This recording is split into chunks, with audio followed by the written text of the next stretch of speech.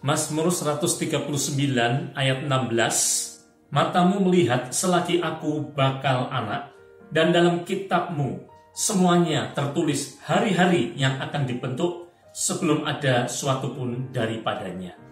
Dunia kedokteran mengalami kemajuan yang sangat luar biasa. Salah satunya ditemukannya alat yang disebut dengan ultrasonografi atau kita mengenal dengan USG Alat ini mampu mendeteksi organ-organ tubuh bagian dalam dari manusia. USG juga berguna untuk bisa mendeteksi janin yang ada dalam kandungan seorang ibu, bagaimana pertumbuhan, pergerakan, dan usia janin.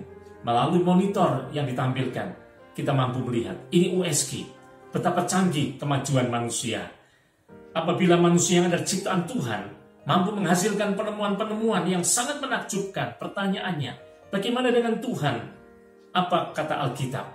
Mazmur 139 ini mengungkapkan bahwa Tuhan jauh lebih dahsyat dibanding dengan manusia dalam segala sesuatu.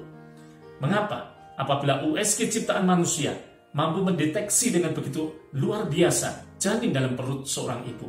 Tetapi mata Tuhan sudah melihat bakal anak sebelum ada segala sesuatu dalam perut seorang ibu.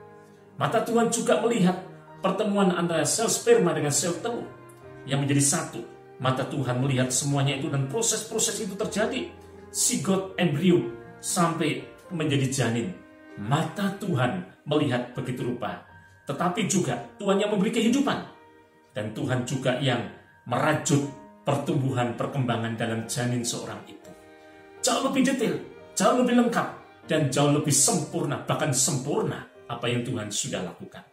Tuhan juga melihat bukan hanya ketika seseorang masih ada dalam kandungan, tetapi ketika dilahirkan menjadi satu pribadi yang bergerak dalam kehidupan di muka bumi ini. Alkitab juga mengatakan Yesaya 25 ayat yang pertama. Rancangan Tuhan itu ajaib dan telah ada sejak dahulu. Artinya Tuhan punya rencana yang indah di dalam kehidupan setiap manusia. Teristimewa adalah anak-anaknya. Tuhan tahu isi hati kita. Tuhan tahu isi pikiran kita. Tuhan tahu juga niat hati kita. Itu sebabnya janganlah kita lari menjauh daripada Tuhan karena tidak ada tempat untuk kita bersembunyi daripadanya. Jangan kita takut apalagi khawatir karena Tuhan memelihara dan melindungi kehidupan orang yang percaya. Dan bersekutulah lebih dekat lagi dengan Tuhan maka saudara akan memiliki kekuatan menghadapi perjalanan hidup ini. Tuhan Yesus Kristus beserta saudara dan saya. Amin.